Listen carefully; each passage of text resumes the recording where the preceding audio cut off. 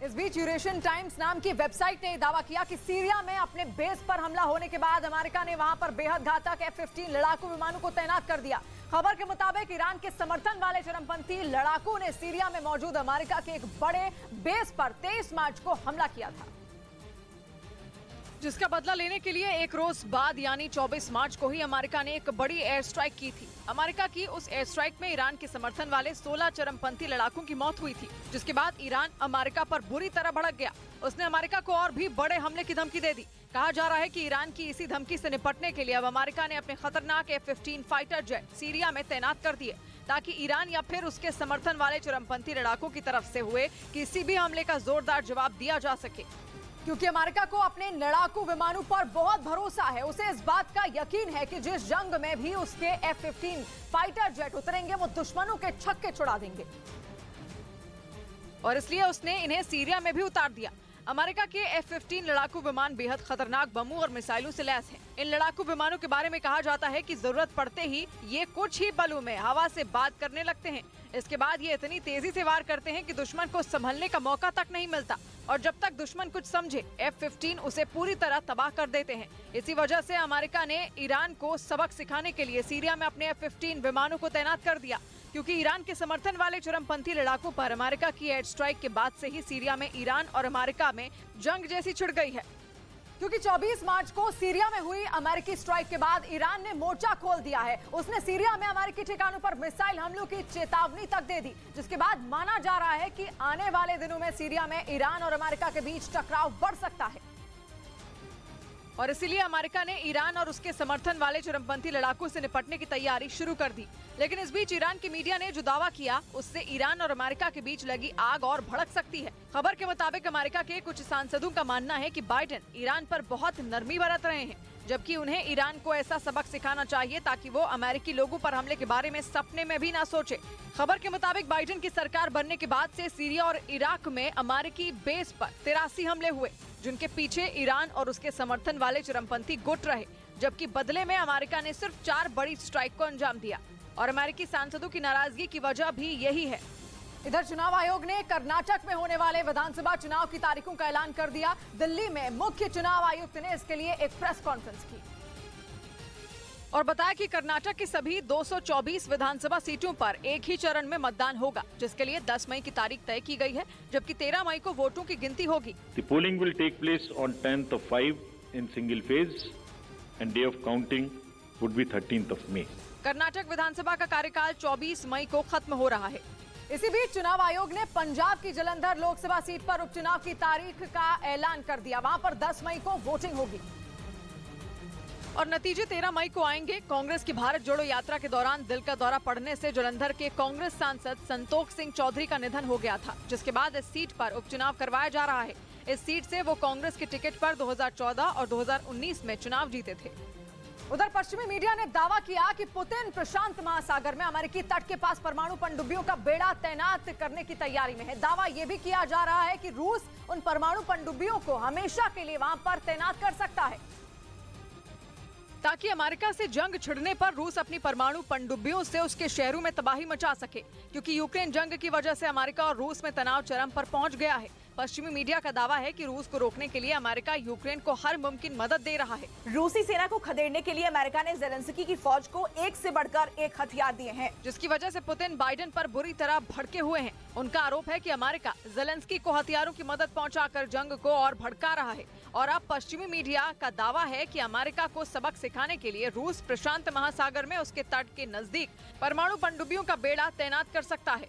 और अगर ऐसा हुआ तो अमेरिका की परेशानी बढ़ जाएगी, क्योंकि पश्चिमी मीडिया के मुताबिक पुतिन जिन पनडुब्बियों को वहाँ पर तैनात करने वाले हैं, वो परमाणु बम दागने की ताकत रखती हैं।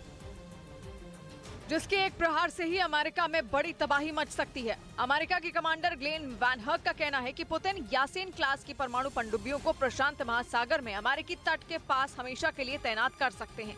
एक रिपोर्ट के मुताबिक 13,800 टन की यासीन क्लास की पनडुब्बी परमाणु ऊर्जा से चलने के साथ एटम बम दागने की ताकत रखती है। यही नहीं समंदर के साथ साथ ये ज़मीन पर भी हमला करने में सक्षम है। ज़मीन पर हमला करने के लिए ये ओनिक और कलिब्र मिसाइलों से भी वार कर सकती है। और तो और अपने एक बार से ही ये बैलिस्टिक मिसाइल दुश्मन के जंगी जहाजों को भी तबाह करने का दम रखती है। मतलब पुतिन ने अमेरिका से भिड़ने की पूरी तैयारी कर ली है। इधर लोकसभा सचिवालय ने एनसीपी नेता मोहम्मद फैजल की संसद सदस्यता बहाल कर दी। इसी साल 11 जनवरी को लक्षद्वीप की सेशंस कोर्ट ने उन्हें हत्या की कोशिश के मामले में दोषी करार दिया था। और 10 साल की सजा सुनाई थी। इस फैसले के बाद उनकी संसद सदस्यता रद्द कर दी गई थी। हालाँकि इसी साल 25 जनवरी को केरल हाईकोर्ट ने सेशंस कोर्ट के फैसले पर रोक लगा दी। उसके बाद भी मोहम्मद फैजल की संसद सदस्यता बहाल नहीं हो पाई, जिस पर उन्होंने सुप्रीम कोर्ट का दरवाज़ा खटखटाया। लेकिन सुप्रीम कोर्ट में सुनवाई से पहले ही लोकसभा सचिवालय ने उनकी सदस्यता बहाल कर दी। उधर ताइवान के राष्ट्रपति साई इंग वेन के अमेरिकी दौरे से चीन इतना भड़क गया है कि उसने खुलकर उन्हें धमकी दी। चीन के भारी विरोध के बावजूद ताइवान के राष्ट्रपति अमेरिका समेत कई देशों के 10 दिन के दौरे पर हैं। जहाँ वो अमेरिकी संसद के नए स्पीकर केविन मक्कार्थी से भी मुलाकात करेंगी, लेकिन यही बात चीन को नागवार गुजर रही है। वो तो ये भी नहीं चाहता था कि ताइवान की राष्ट्रपति अमेरिका के दौरे पर जाएँ, क्योंकि चीन किसी भी सूरत में ये नहीं चाहता कि ताइवान और अमेरिका के बीच नजदीकी बढ़े। इसकी वजह यह है कि चीन ताइवान को अपना ही हिस्सा मानता है और पिछले कई महीनों से वो इस फिराक में है कि अपने खतरनाक ड्रोन घातक मिसाइलों और जंगी जहाजों का डर दिखाकर ताइवान को सरेंडर करने पर मजबूर कर दे ताकि बिना युद्ध लड़े ही ताइवान चीन के सामने घुटने टेक दे और वो उस पर कब्जा जमा ले। इसके लिए चीन ने ताइवान की सीमा के नज़दीक कई हफ्तों तक मिलिट्री ड्रिल भी की थी।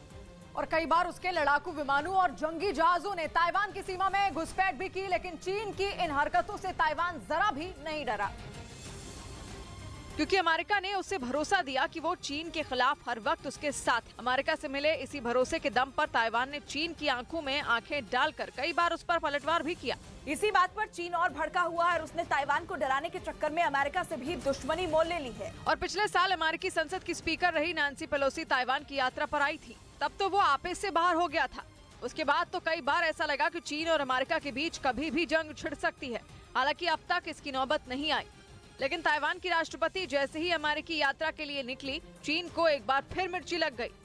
और उसने खुलकर ये धमकी दे दी कि ताइवान का ये कदम उकसावे वाला है और इससे दोनों देशों के बीच तनाव चरम पर पहुँच जाएगा।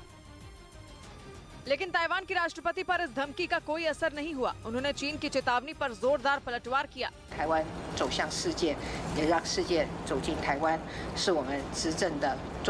हालाँकि पिछले हफ़्ते ही चीन ने एक अहम कूटनीतिक चाल चलते हुए ताइवान के समर्थक रहे मध्य अमेरिकी देश हॉन्डिरस को अपने पाले में कर लिया था जो दुनिया के उन गिने चुने देशों में शामिल था जो ताइवान के वजूद को मानते हैं। हॉन्डुरस के इस फैसले के बाद अब सिर्फ़ तेरह देश ही बचे हैं जिनके ताइवान के साथ राजनयिक संबंध हैं। इसी वजह से ताइवान की राष्ट्रपति, मध्य अमेरिकी देश, ग्वाटेमाला और बेलीस का भी दौरा करेंगी, जो ताइवान के करीबी देशों में शामिल है, ताकि वो अपने समर्थक देशों के साथ संबंधों को और मज़बूत कर सकें। इस बीच आईसीसी ने वनडे रैंकिंग जारी कर दी, जिसमें विराट कोहली फिर टॉप टेन खिलाड़ियों में शामिल हो गए। उनके अलावा रोहित शर्मा को भी फ़ायदा हुआ। और वो आठवें नंबर पर पहुँच गए, जबकि वनडे रैंकिंग में टॉप 10 से बाहर चल रहे विराट कोहली सातवें नंबर पर आ गए। रैंकिंग में उनको ये फ़ायदा ऑस्ट्रेलिया के खिलाफ अर्धशतक लगाने से हुआ। रोहित और विराट के अलावा आईसीसी की वनडे रैंकिंग में पाँचवें नंबर पर शुभमन गिल रहे। उधर पश्चिमी मीडिया ने दावा किया कि नेटो देश पोलैंड ने यूक्रेन को सारे मिग लड़ाकू विमान देने से इनकार कर दिया है। खबर के मुताबिक इसका ऐलान खुद वहाँ के उप विदेश मंत्री ने किया। जबकि इससे पहले पोलैंड के राष्ट्रपति ने यूक्रेन से वादा किया था कि वो अपने सारे मिग 29 फाइटर जेट उसे दे देंगे, ताकि रूस की सेना से मुकाबला करने में जेलेंस्की के जवानों को आसानी हो। माना जा रहा था कि पोलैंड के इस कदम के बाद जेलेंस्की ने बड़ी राहत की सांस ली, क्योंकि वो अमेरिका समेत कई देशों से लड़ाकू विमानों की मांग कर रहे थे, लेकिन कोई भी उनकी गुहार सुनने के लिए तैयार नहीं हुआ। लेकिन पोलैंड पहला ऐसा नेटो देश बना जिसने वहाँ मिग 29 फाइटर जेट भेजने की हामी